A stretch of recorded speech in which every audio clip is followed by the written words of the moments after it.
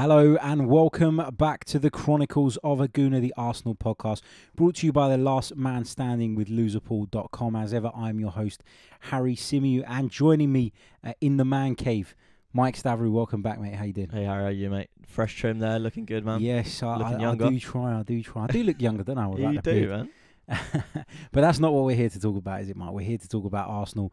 Um, let's talk about first of all our defensive issues because I know it's only pre-season, and I know we shouldn't really read into you know pre-season results too much. As I always say, pre-season games are primarily about fitness, but we've seen um, lapses in concentration defensively again, uh, particularly last night in the Camp Nou, and overall it was probably a pretty good performance. But we saw that towards the end, the defensive lapse again, and we ended up losing the game. And again, I want to emphasize that I'm not too upset about the result because it was a friendly at the end of the day.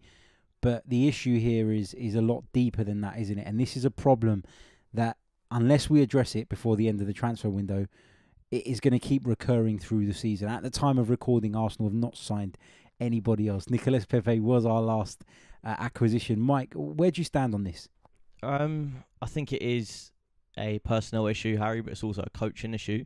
I think if Emery hasn't uh, over the summer put in place uh, the the the coaching to be able to make these players better and improve them and positionally and how they can react to situations, then it's it's not going to happen. I mean, it's so much more about you know people screaming and saying sign a centre back, sign a centre back. It, I think actually, if you look at our defence, yes, it's not the best. It's not probably the best in the in the top six, um, but they can all be improved. Like that's what coaches do. They improve players. And Mustafi, I don't rate him whatsoever. But could he put in a performance where Arsenal could defend as a collective unit better? Of course they could. I mean, I just look back to the four-two against Spurs last season at home, and the way that we pressed from the front and the way that we recover possession in midfield, which actually took away the emphasis on the back four. I mean, that's how you defend. You defend as a collective. It's not just about about the back four. So we blame individuals. I mean, obviously, you know, we could do with a big leader um, sort of, of like the sort of stature of Virgil van Dijk, someone that's going to come in and um, boss the team around and be that leader that we've lacked over all these years. But is it just a case of sign a centre back and all our defensive woes uh, suddenly gone? I mean, no. What, what do you think? No, I completely agree with you, and I've I've been, as you know, I've been critical of Unai Emery in the past. I've spoken about um, the fact that he brought in defenders initially when he arrived, the defensive-minded players, and we didn't improve defensively. And I think you're absolutely right. I think that that whole argument highlights the fact that it's not just about the personnel. It is about drilling the team properly. It is about communication, making sure that when both your fullbacks have gone forward, for example, one of your midfielders has the presence of mind to slot back into the defence, or you know, knowing that your centre half's having to go out and cover his left back, who's going to slot in and fill that gap? And it's those kind of things, it's those transitions and the shape that Arsenal are really struggling with and have been struggling with for a long, long time. I thought that when Unai Emery came in, we'd see an improvement in that area because I blamed Arsene Wenger for it previously, but it seems like Unai Emery's not been able to embed that either, which kind of leads me to believing that it's kind of 50-50, half the personnel, half the shape, half the, the management, because uh, surely top-class experienced defenders should have the presence of mind to at times make those calls for themselves during a game. They should spot those gaps themselves. They should fill in those holes. And whilst I, I completely agree that the team are not being set up right in many ways and the defensive shape is certainly not there, I find it very hard to solely blame the manager when you're seeing players make so many individual errors. And Mustafi's one you mentioned. I actually think that Mustafi, with a proper centre half next to him, would be okay. Don't particularly rate the guy, but a lot of people were giving him shit after the Barcelona game last night. Luis Suarez got in, um, obviously scored the winner. But for me, as a centre half pairing, you've got to deal with Suarez. You got it's got to be one on him, one drop off. You know what he's going to do. It's one of the most recognisable strikers in world football, and it just felt like, whilst I'm not overreacting to a friendly because you shouldn't, that was a timely reminder of the fact that we've got a few days left in this window. And if we have real aspirations of getting back in the top four and challenging for trophies, that is an area that needs addressing. I mean, that's exactly what it is, isn't it? I think you're talking about the the synchronicity of the of the players together and knowing the plan. And because um, Chambers and Mustafi together, there was just no communication there, Harry. First of all, there's a massive gap between them, which there shouldn't be. And then Mustafi's trying to push up. Uh, Chambers hasn't reacted, and it's just the communication between them. And what I think has happened last season, Emery came in and was like, "All right, this is how I want to play. This is what I'm going to do. We're going to play up from the back. We're going to press from the front." For some reason, over time, I don't know if it was injuries or um, he changed his philosophy and he started chopping and changing and over managing the, the squad. I think. I mean, constantly different systems. One game would go to a 4 2 3 1 to a 4 3 3 to a 3 at the back, and the players could never adapt to that and they never knew what the plan was. When you look at, at Guardiola and Jurgen Klopp, they have their formation, they have their personnel, and it almost doesn't matter which way round that is as long as the player fits into that mold and that exact position and what the instructions are for that position, it, it doesn't matter who it is. Obviously, you can improve, and some players will do things better than others. But for Arsenal, I just feel like that plan isn't in place. And I hope over this summer, what's happened is Unai Emery's had a chance to get some of the players he wants in, as in Pepe, which will help us play, you know, with, with more width, which will only help us going forward. Um, which means maybe the fullbacks don't bomb on bomb on as much. Um, and uh, in Dani Ceballos as well. That's someone who can fill the sort of void uh, left by Santi Cazorla, someone who makes that link between midfield and attack and feeds it into Ozil so he can pick up the ball higher up the pitch rather than having to drop deep. So it will be interesting to see how it all works out. But defensively, I mean, there's no doubt that we could benefit from having another big, experienced centre back in there. I read a story just now actually that um, we had a 60 million euro bid rejected for um, for Upamecano from um, RB Leipzig.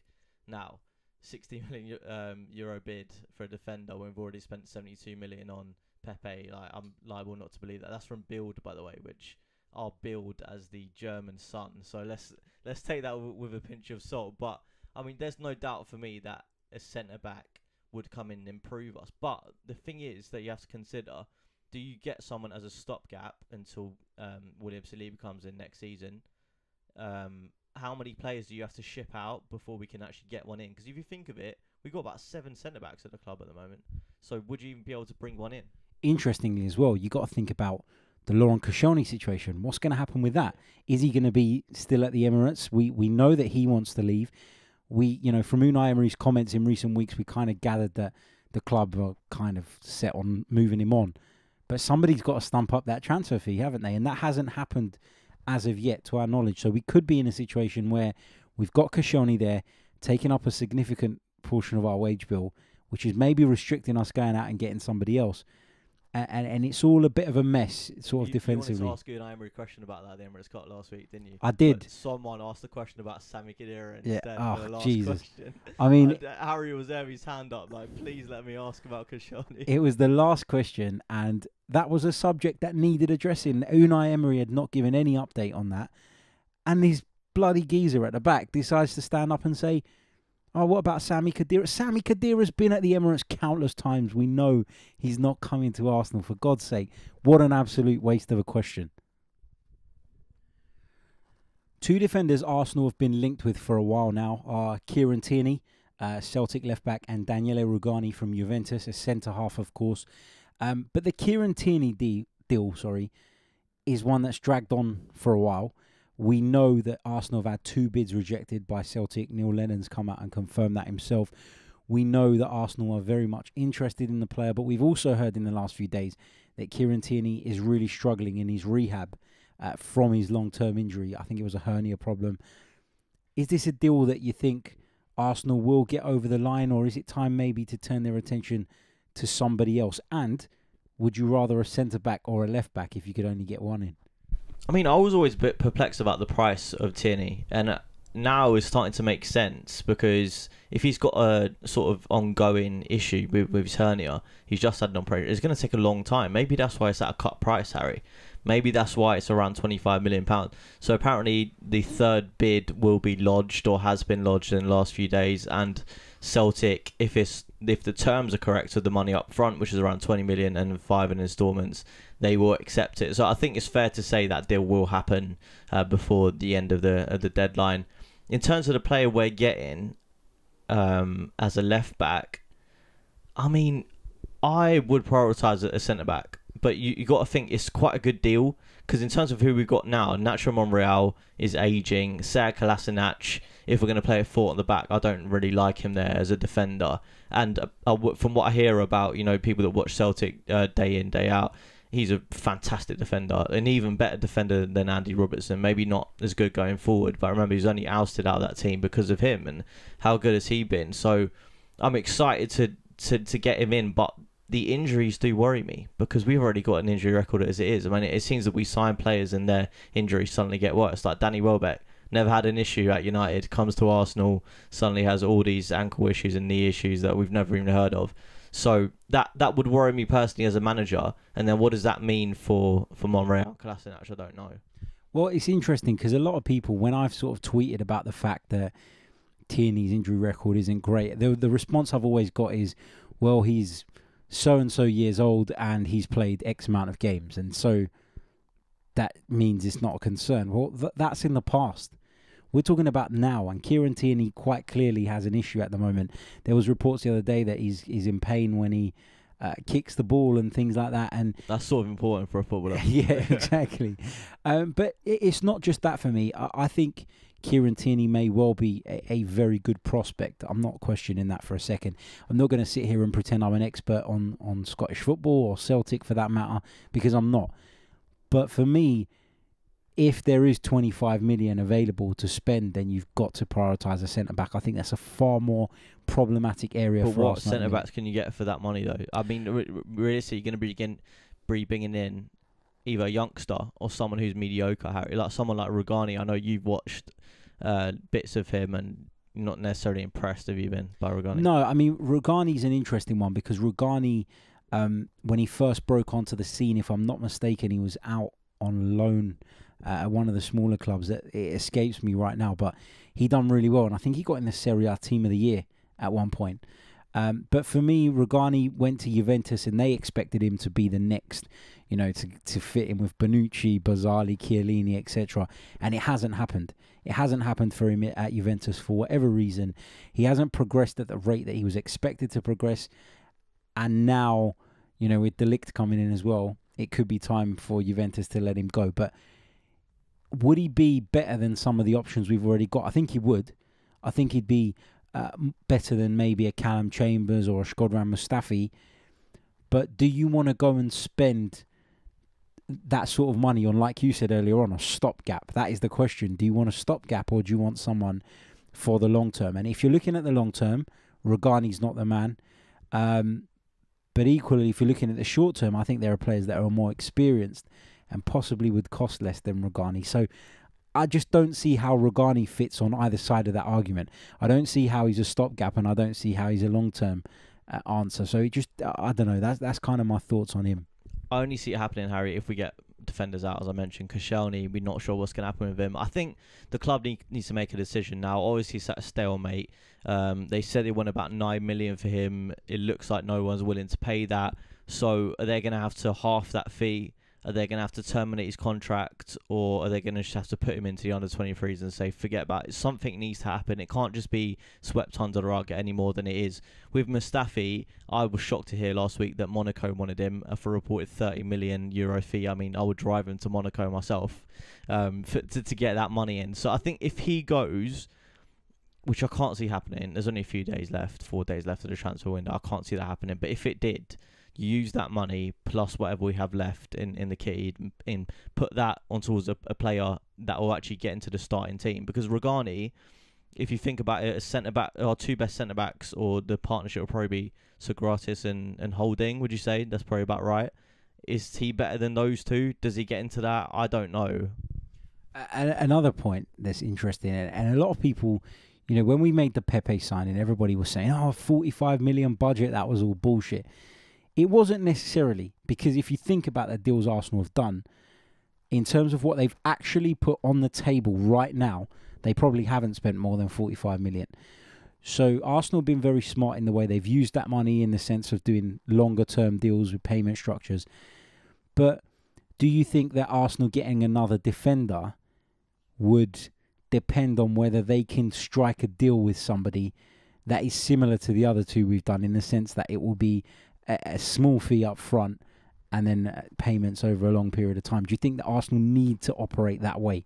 Well, uh, I think so. I mean, I, just want to like give a shout out to to Raul Sanllehi, who, you know, everyone was talking about the 45 million budget. If you look at actually, like what you're saying is pretty spot on. So Saliba, we're not going to pay any money till next next season when he comes in.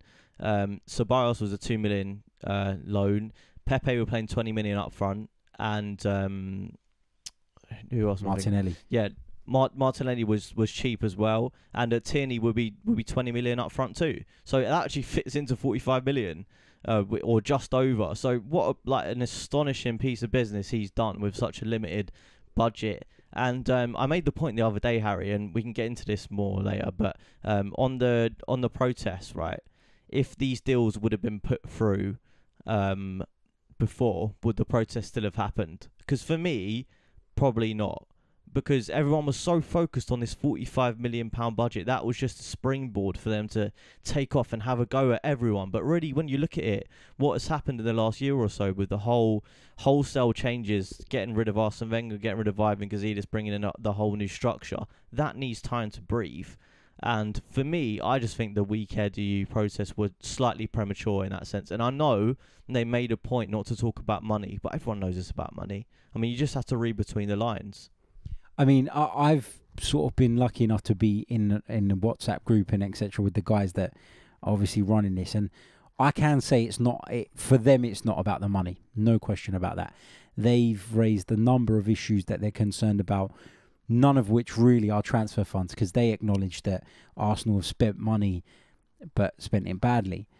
The issue is that of those hundred thousand people that signed it, it's about money for a lot of them, and that's the problem.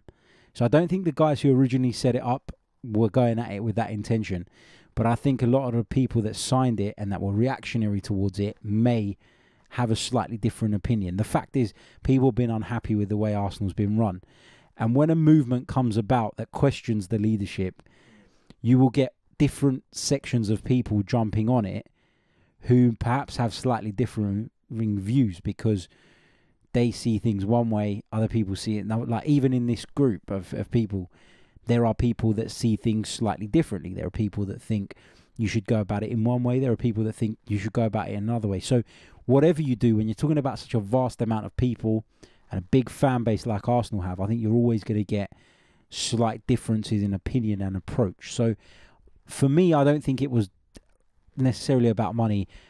I do think that the time that the Kroenkes addressed it, which was straight away, and the fact that the Pepe deal was done so soon after, has taken the wind out of the sails of it a little bit. Yeah. Um, but I don't think that was its initial. No, and uh, look, I look, I'm, I'm not going to sound like I'm against the protest because personally, as a fan, I think as an Arsenal fan, you can't not um, be against what some of the stuff that the KSE has done over the last ten years. And but when when they're talking about atmosphere and when they're talking about forcing fans to share their cells that have been like family heirlooms, of course I agree.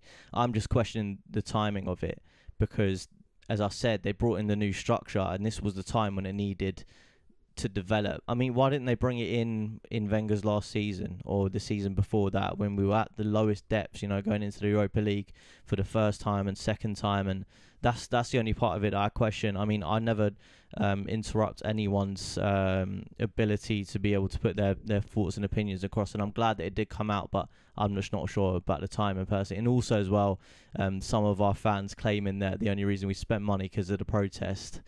They can get stuffed. Yeah, I, I don't to be quite yeah, because those deals would have been in motion before that was before that was announced. I, I completely agree with you there. So of course the season is just a few days away. Uh, Arsenal take on Newcastle at St James's Park in our opening game on the Sunday. The Premier League, of course, kicks off on the Friday night. Liverpool uh, take on Norwich there. Um, we've spoken a lot about who needs to come in, what we need, what we're missing. How do you think the beginning of the season's going to go though, because Newcastle away is never an easy game. With Steve Bruce coming in, you're not quite sure how that's going to work. We know that Newcastle United have uh, had some issues. We know the fans were disappointed to lose Rafa Benitez. But Steve Bruce is a manager who does get his teams up for games.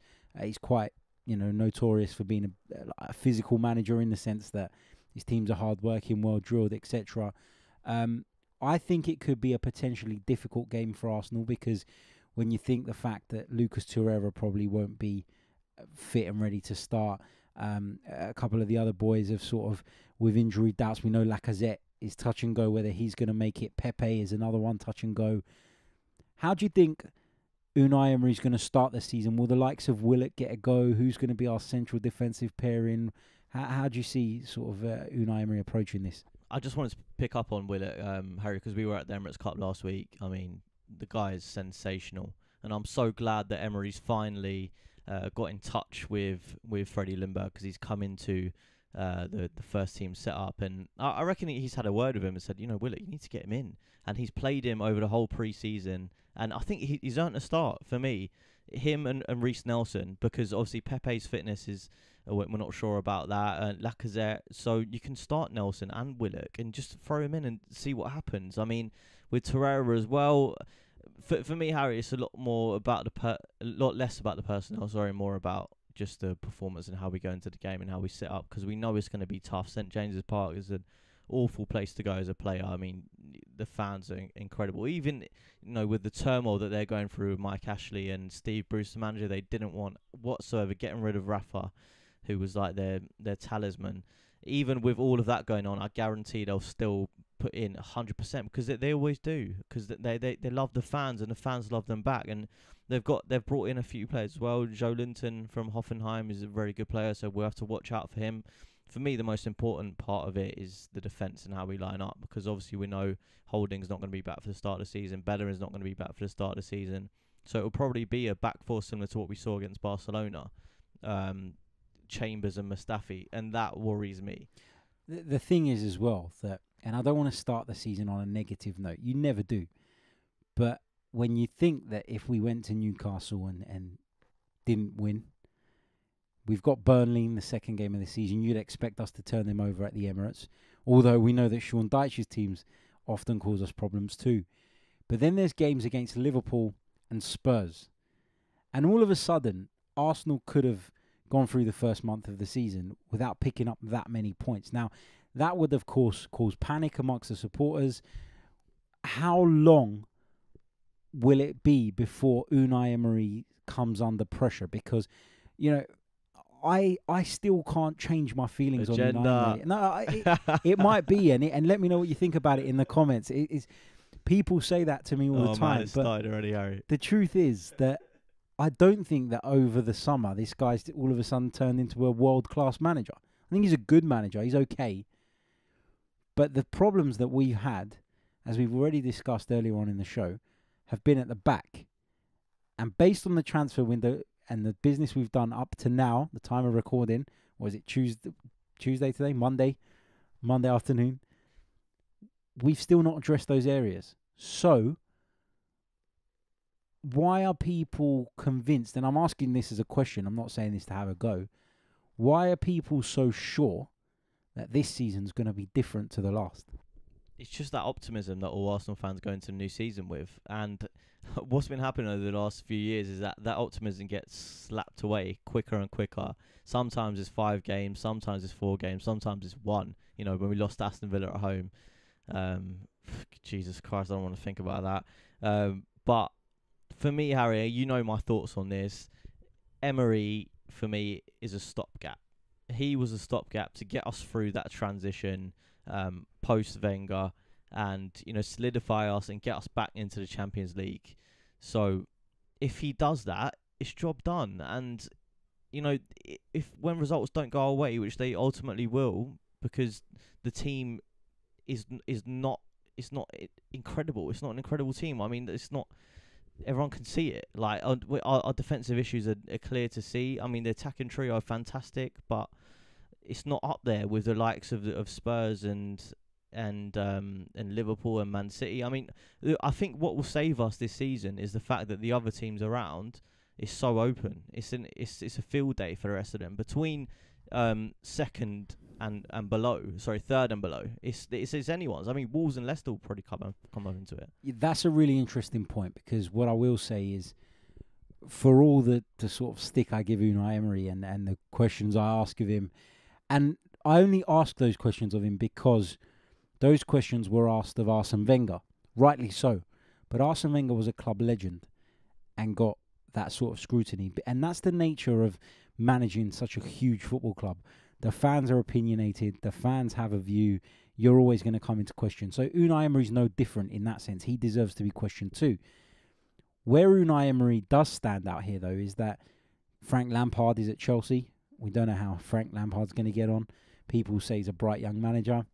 Not convinced. I think that his Derby team did okay. Ultimately, they didn't come up, and you know, I think that he probably thought that that was as far as he could go with them. And the Chelsea job came along, and Frank Lampard wanted it, and he took it.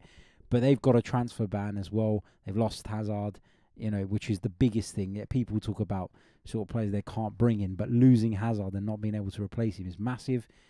And then you've got Manchester United, Ole Gunnar Solskjaer, again a manager I'm not at all convinced about, a manager that I'm not sure will be there come the end of next season.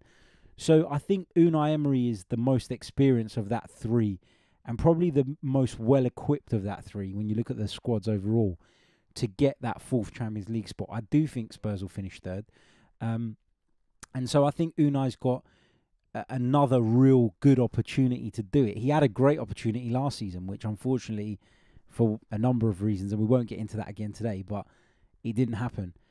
But now he's got another glorious opportunity to get Arsenal back in the Champions League, and I just feel like if he doesn't, then the knives will come out. And in my view, it will be time for Unai Emery to move on. If come the end the- of this the end of season, yeah, end of the season. You got to give him the season. There's no. I don't believe in changing managers sort of willy nilly in the middle of a season, unless you're in the situation where you're about to, you're in danger of going down, and you need that recharge and you need a new manager. It's the only situation in which I kind of condone it. I don't think that you can do it in a situation like Arsenal in the middle of the season, and I'd like to see him given the season, but I will be questioning him as well. Yeah, I mean that's a fair point. And if we're in the Europa League again next season, Harry, then he, he needs to go.